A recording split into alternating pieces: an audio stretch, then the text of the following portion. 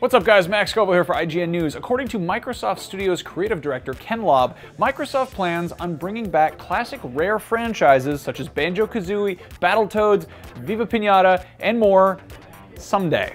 During an interview on the Inner Circle podcast, Lobb added that there is a lot of passion for each of these franchises internally at Microsoft. He emphasized the importance of building games people love by digging back into older IP while also developing more recent sequels, as you might have guessed from the recent Killer Instinct. However, he wants to make sure Microsoft is able to find developers that are passionate about each IP.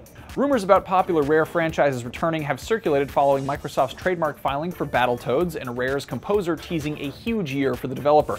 According to Lobb, Microsoft secured the trademark because it knows the title holds value.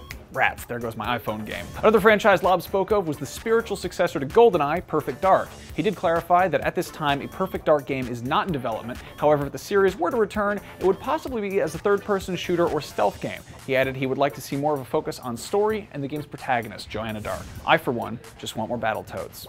For more on future Xbox One games and to see what Lobb had to say about the upcoming Xbox One exclusive Phantom Dust, and for all your gaming news, you're already in the right place. IGN.